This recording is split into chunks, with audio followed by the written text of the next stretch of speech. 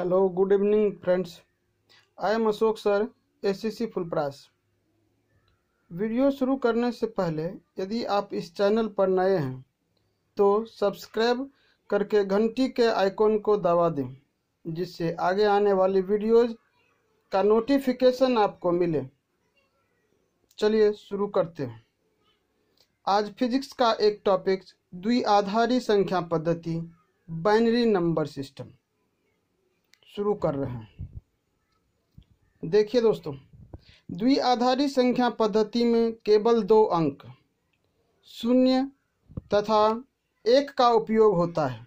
इसमें संख्या शून्य को शून्य तथा एक को एक से निरूपित किया जाता है। अन्य संख्याओं को ज़ीरो और एक के संयोग द्वारा निरूपित किया जाता है। द्विआधारी संख्या पद्धति में प्रयुक्त अंकों की संख्या केवल दो है, अतः द्विआधारी संख्या पद्धति का आधार दो होता है। अब आगे।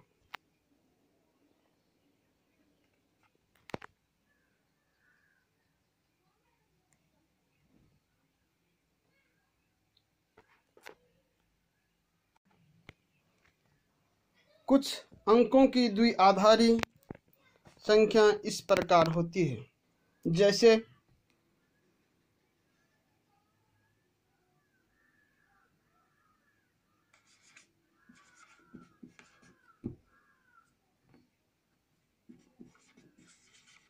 दशमिक संख्या द्वि आधारी संख्या।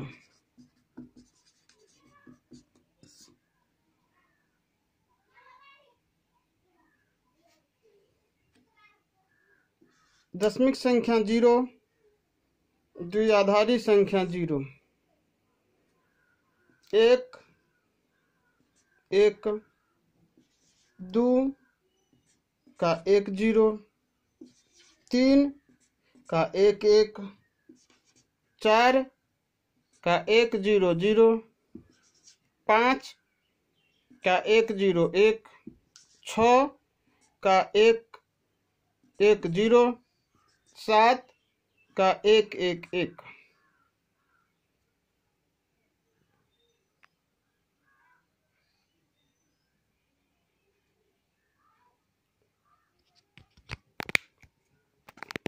दशमिक संख्या।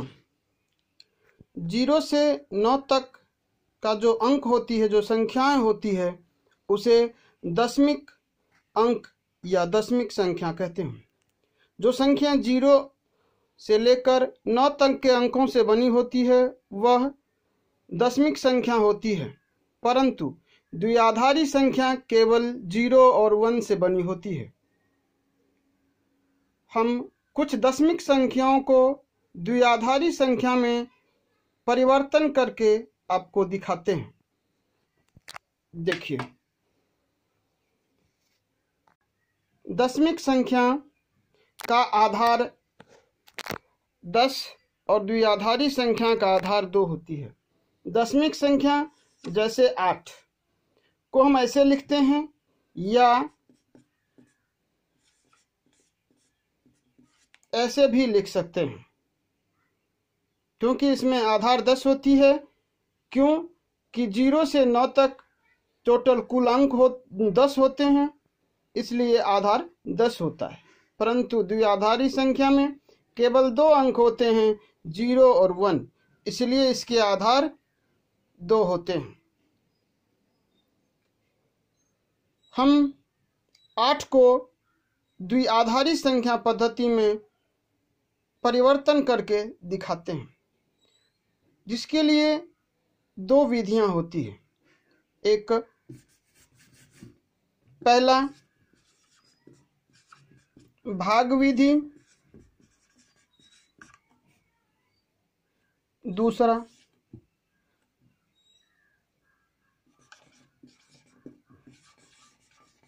वेट विधि। या भार विधि।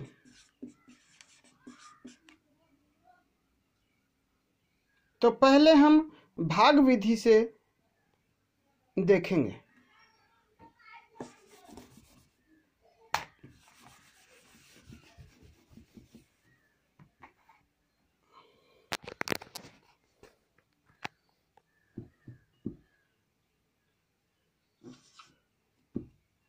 आठ बराबर। ये द्विआधारी संख्या में आठ का मान कितना होगा? ये दिखाना है हमें। तो देखिए, सबसे पहले क्या करते हैं? आठ का फैक्टर करते और शेष लिखते जाते हैं। यहाँ पर हम शेषफल लिखेंगे। और हमेशा दो से डिवाइड करेंगे। हमेशा दो से ही भाग देंगे इसमें। दो से भाग दिया आठ में चार हुई, शेषफल ज़ीरो रहा। पुनः दो से भाग देंगे, दो दूनी चार, शेषफल ज़ीरो रहा। पुनः दो से देंगे, दुए कान दो, शेष ज़ीरो रहा। संख्या को हम ऊपर से नीचे की ओर लिखेंगे। अतः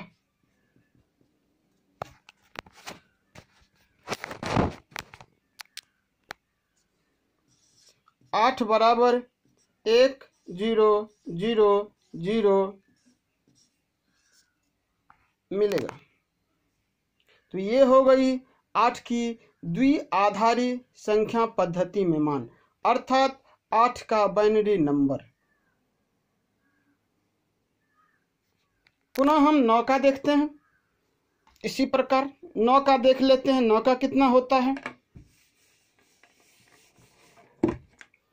हमें जब कभी भी द्विआधारी संख्या पद्धति में बदलना होगा, हम जब भी फैक्टर करेंगे, दो से ही करेंगे।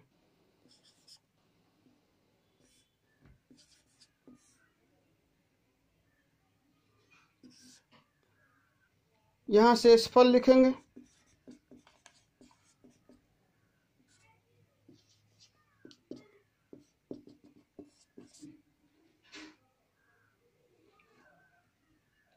दो चौकी आठ। बच गया शेषफल एक। फिर देंगे दो से। दो दूनी चार शेषफल ज़ीरो। दुए कान दो शेषफल ज़ीरो। अतः नौ बराबर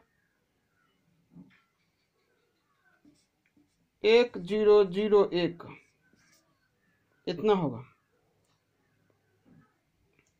ये आधार है। ये दो जो यहाँ पर लिखा गया है, वह बाइनरी नंबर को सूचित करता है। अन्यथा हम एक ज़ीरो ज़ीरो एक को एक हज़ार एक पढ़ देंगे, जो कि गलत है। इसे हम अंक बाय अंक पढ़ेंगे। एक ज़ीरो ज़ीरो एक एक ज़ीरो ज़ीरो एक। ऐसा पढ़ना इसको। इस प्रकार आगे कुछ संख्या हम और देखते हैं। हम पंद्रह का ज्ञात करते हैं।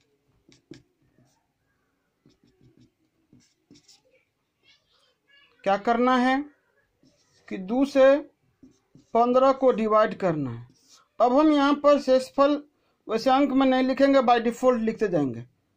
दो सत्य चौदह, शेषफल एक, द्वितीय छ, शेषफल एक दुए कान दो, शेषफल एक। इसको जैसे ही हम ऐसे लिखेंगे, नीचे से ऊपर की ओर तो ये हो जाएगा अतः पंद्रह बराबर एक एक एक एक। ये हो गया पंद्रह का बाइनरी नंबर द्विआधारी संख्या। इसी प्रकार हम कुछ क्वेश्चन आपको देते हैं, आप उसे निकाल कर देखिए और फिर हमें कमेंट्स कीजिए कि आपका आंसर कितना मिला। अगर आपके कमेंट्स में आंसर गलत होंगे तो हम आपको बताएँगे। अन्यथा उम्मीद करते हैं कि आप इसे बढ़िया से समझे होंगे, अच्छे तरीके से समझ गए होंगे, और आराम से आप इसे ज्ञात कर सकते हैं। किसी भी दसवीं के अंक पद्धति का आप द्विआधारी संख्या निकाल सकते हैं, आराम से निकाल सकते हैं, अच्छे से निकाल सकते हैं। इन संख्याओं का द्विआधारी संख्या आप निकाल के देखिए। आंसर हमें कमेंट्स कीजिए उम्मीद करते हैं कि आप लोग इसे अच्छे से समझे होंगे और इसे अच्छे से बनाएँगे। और आपसे बन जाना चाहिए। हमें उम्मीद है कि आपको द्विआधारी संख्या अच्छी से समझ में आई होगी। दशमिक संख्या से द्विआधारी संख्या में बदलना हम आपको अच्छे तरीके से समझा चुके हैं। ये था हमारा भाग विधि। हम दूसरी विधि अभी आपको बताते हैं। जो है हमारा भार विधि। हमें जिस किसी भी दशमिक संख्या का द्विआधारी संख्या प्राप्त करना होता है तो हम सर्वप्रथम अंक को इधर से दुगुना, दाई से बाई ओर, एक से शुरू करके उसे दोगुना कर करके लिखते जाते हैं। एक दो, चार, आठ, सोलह, बत्तीस, चौंसठ। आगे इसी प्रकार। अब हम आपको बताते हैं कि इसे ज्ञात कैसे करना है। मान लीजिए कि हमें अठारह का द्विआधारी संख्या चाहिए। अठारह का द्विआधारी संख्या ज्ञात करना है। तो कैसे ज्ञात करना है? तो सबसे पहले देखिए, ऊपर जो हमने अंकें यहाँ पर दी है, इनमें से किस किस को जोड़कर अठारह आता है? तो देखिए, सोलह दो, सोलह और दो। तो हम, ये तो आपको समझाने के लिए हमने ये लाइनें लिखी थी। तो देखिए कि अठारह से छोटी संख्या कहाँ तक है? तो एक, दो चार, आठ, सोलह। ये अठारह से छोटी संख्याएँ हो गई। इनमें से किस किस संख्या का योग अठारह होता है? सोलह और दो का। तो जिस जिस का योग हमने किया, अठारह हो गया, उस उसका एक, बाकी सभी का ज़ीरो लिखेंगे। इस प्रकार हमें अठारह का द्विआधारी संख्या एक ज़ीरो ज़ीरो एक ज़ीरो प्राप्त हो गया। अगला प्रश्न देखिए। अगला देखिए। जैसे हमें तेरह का ज्ञात करना है, हम क्या करते हैं? तेरह से छोटी संख्याएँ क्या सब है? आठ, चार, दो, एक। हमेशा इसे हम दाई से बाई ओर लिखेंगे। हमेशा हम दाई से बाई ओर लिखेंगे और एक से शुरू करके उसे दुगुना करते जाएँगे। ध्यान रखिए कि तेरह किस किस को जोड़ के आता है। एक आठ, चार बारह और एक तेरह। देखिए, आठ, चार, एक। बाकी जो संख्या बच गया दो, उसके सामने हम ज़ीरो लगा देते हैं, अर्थात शून्य लिख देते हैं। इस प्रकार हमें तेरह का द्विआधारी संख्या प्राप्त हो गया। एक एक, ज़ीरो, एक। उम्मीद करते हैं दोस्तों कि आपको भार विधि भी बेहतर तरीके से समझ में आ गया होगा। भार विधि भी बेहतर तरीके से समझ में आ गया होगा।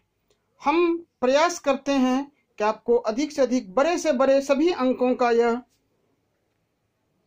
दशमिक संख्या से द्विआधारी संख्या अच्छी तरह से निकाल पाए आप। इसके लिए हम आपको एक बड़ा अंक, अर्थात 50 से ऊपर के अंकों का भार विधि से ये निकालना सिखाते हैं, बाइनरी नंबर। दोस्तों, हम कितना भी बड़ा संख्या क्यों ना हो, उसका हम द्विआधारी संख्या आसानी से निकाल सकते हैं, चाहे वह भाग विधि हो या फिर भार विधि। भाग विधि से पहले हम बासठ का ज्ञात करेंगे। भार विधि से पुनः इसका हम भाग विधि से भी ज्ञात करके आपको दिखाएँगे। तो देखिए स्टार्ट करते हैं। चलिए लिखिए इधर से।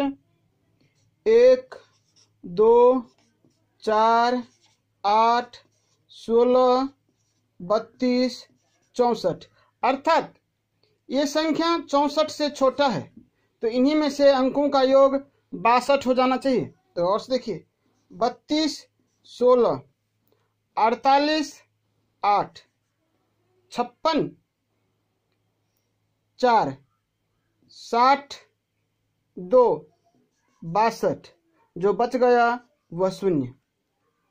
इस प्रकार बासठ का द्विआधारी संख्या हमें प्राप्त हुआ एक एक एक एक एक, ज़ीरो।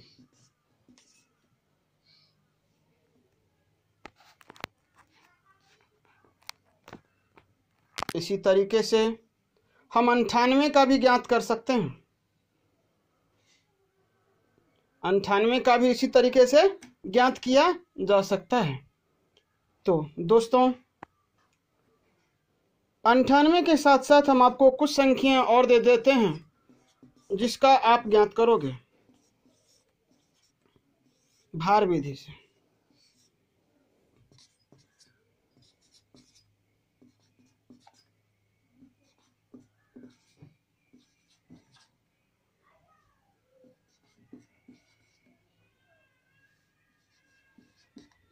उम्मीद करते हैं कि आप सभी संख्याओं का भार विधि से द्विआधारी संख्या ज्ञात करेंगे।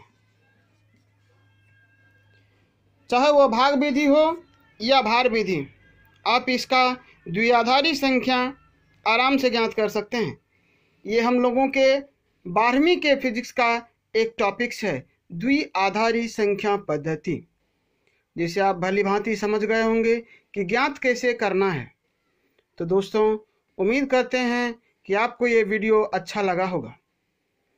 तो अगर वीडियो अच्छा लगा हो तो लाइक्स करें कमेंट्स करें, जिससे हमें अगला वीडियो बनाने में सुविधा होगी। इसके आगे का भाग हम अगले वीडियो में आपको देंगे। तब तक के लिए जय हिंद शुभ रात्रि